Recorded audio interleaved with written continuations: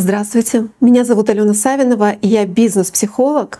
При этом я 25 лет предприниматель, 18 психологии. То, что касается моего бэкграунда, то, что я делаю в своей жизни, это я возвращаю ресурсы родовых систем для жизни, для бизнеса людям в реальную жизнь, для того, чтобы люди могли быть более ресурсными, скажем так. Я автор книги «Жить ресурсно», и многие годы я работаю с женщинами, с мужчинами, с семьями.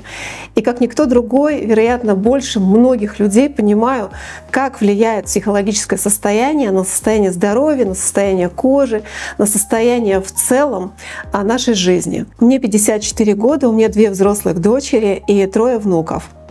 И все в моей жизни сбалансировано и семья, и дети, и бизнес, и работа, и деятельность с людьми, и все, что касается здоровья физического, эмоционального, психологического, сначала я выстраиваю сама, а потом обучаю этому других людей. На протяжении 18 лет я обучаю этому других, и первое, с чего мы начинаем, это с колеса баланса.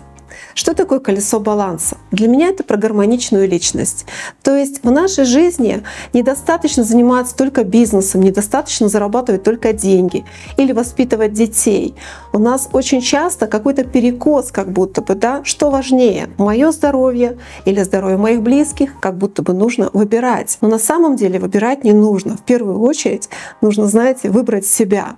Это как, знаете, надеть маску в самолете сначала на себя, а потом на близких и на все свое окружение.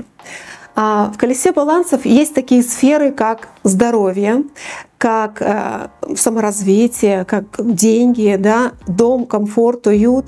Этому всему нужно дать место. И очень важно, чтобы мы смогли отслеживать, а где же, в какой момент времени я забываю о себе, или забываю о том, что мне бы хотелось больше комфорта и уюта. В какой момент я перегружаю себя работой, и забываю о состоянии своего э, тела, своей психики. А на самом деле наше психологическое состояние очень сильно связано с кожей, состоянием кожи.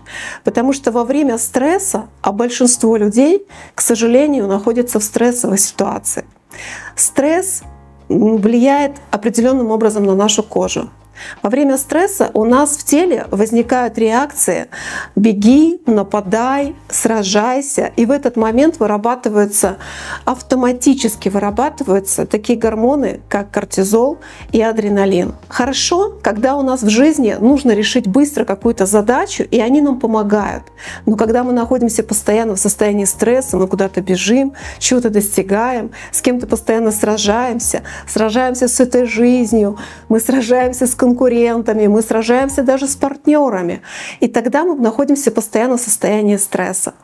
И в это время страдает самый большой орган нашего тела — это наша кожа. Кожа выдает нам такие реакции, как, например, псориаз, акне, да, зуд. Это все из-за того, что а, наша гормональная система выдает вот такие вот активные реакции. И в этот момент важно обратить внимание, как же выстроить свое психологическое состояние, дать этому место. Конечно же, есть огромное количество средств ухода.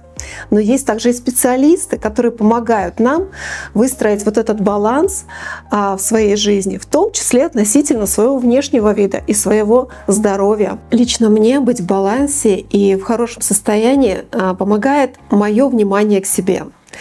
А, первое, что я делаю, это я выстраиваю график каким образом, когда я работаю, когда я отдыхаю, когда я занимаюсь семьей, когда я занимаюсь спортом, когда я читаю книги. Я рисую, пишу стихи. В моей жизни много всего того, что наполняет мою жизнь. При этом я очень много работаю с людьми, и меня наполняет то, что э, эти люди дают обратную связь по поводу того, как же у них все происходит, каким образом а, происходят изменения. То есть меня наполняет все что дает мне а, удовольствие, скажем так. И то, что касается здоровья кожи, психологического состояния, особенно для женщин, большая моя рекомендация. Делайте то, что вам нравится. Я учу своих женщин, говорю, знаете, вы даже вот окно, когда моете, идите, пожалуйста, в это с удовольствием. Музычку включаете и кайфуете. Если вам не нравится то, что вы делаете, однозначно это скажется на вашем психологическом состоянии и здоровье вашей кожи. Со своей стороны еще могу дать маленькую рекомендацию. Обязательно планируйте свой отдых, потому что наш мозг постоянно думает о том, как много нужно работать и как ему тяжело. И каждый раз он находится в состоянии напряжения, да, вот прямо сейчас уже нужно с чем-то справиться. А мы не можем бесконечно, невыносимо стоять в состоянии напряжения, а, как знаете, такая пружина, которая все время в напряжении. Рано или поздно она выстрелит, и все пойдет тартарары. Поэтому лучше бы, конечно, нам регулировать свое состояние. Я всегда планирую каждые три месяца я уезжаю из России или я уезжаю куда-нибудь, а, не знаю, ну, в общем, куда угодно, где мне нравится. И обязательно с собой беру средства ухода. Конечно же, у меня есть косметолог, конечно же, у меня есть есть а, постоянное, а, скажем так, ежегодное обследование. Да? Это нормально для женщины, следить за своим здоровьем.